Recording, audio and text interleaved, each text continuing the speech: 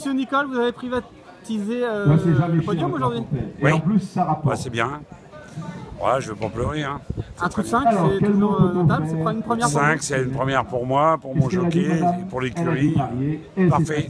que tout se passe bien, c'est que tout Bravo, soit- merci, soit vous coordonné. Ouais, les chevaux font bien Clairefontaine. J'aime bien, c'est une couronne sympa. Pour jeudi, on va faire des jeux un peu plus durs. on a notamment vu Harry là, qui a fait un retour gagnant. Ouais, Harry, il a fait un retour gagnant, mais il s'est mis un mauvais coup sur un amis. Je vais voir ce que ça donne derrière. Et euh, voilà, euh, c'est un bon cheval, Harry. C'est un cheval qui est tardif, mais un cheval de qualité. Et pour la préparatoire du Grand Cycle, il y a deux Oenas aussi qui, euh, qui fait un. Normalement, ça devrait être la prochaine pour lui, ça dépend ce que va lui mettre le handicapeur. C'est un cheval qui a été longtemps arrêté.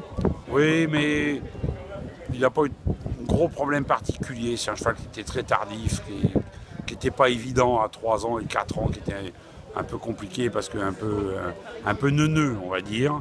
Et en vieillissant, ben, il vient à maturité. Aujourd'hui, euh, ça va, tout va bien. Un coup de 5, on va le fêter ça, euh, je suppose, maintenant? Ouais, ouais, ouais. Demain, on va aller aux ventes, on va voir un petit coup ce soir. Demain, aux ventes. euh, ça s'arrête pas, ça repart demain. Et Donc, Claire Fontaine, on le voit tout l'été, sûrement? euh, je pense, oui. Ouais. Merci.